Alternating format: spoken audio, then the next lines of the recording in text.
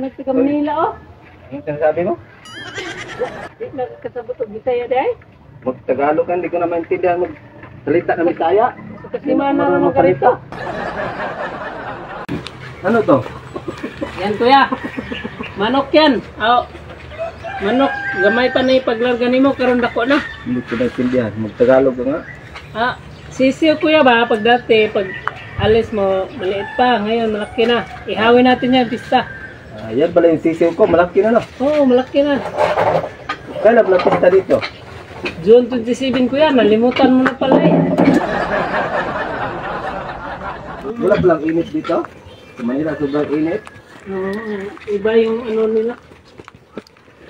Ano to? Ito?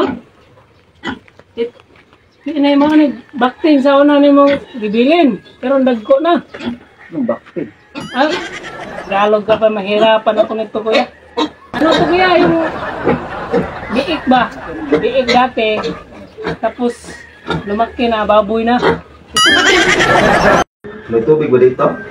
Nauuhaw kasi ako. Wala bang kabo na ya? Pagkabo na ko niya ya. Sobrang pawis po. Bili ka ng yelo. Unsa man ang ilo ya? Ice good.